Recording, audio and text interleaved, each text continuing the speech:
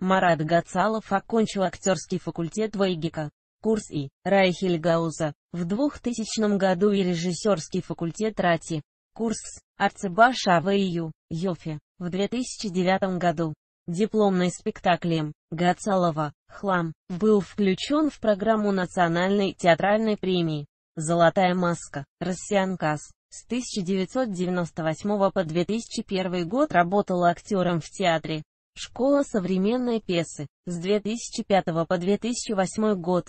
Актер Московского театра им. В.Л. Маяковского. Первая театральная режиссерская работа. Спектакль «Жизнь удалась» поставлен Маратом Гацаловым в содружестве с Михаилом Угаровым.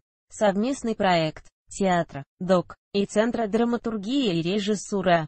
Казанцева М. Рощина. Спектакль был включен в конкурсную программу фестиваля «Золотая маска» и в номинации «Эксперимент» получил специальную премию жюри драматического театра.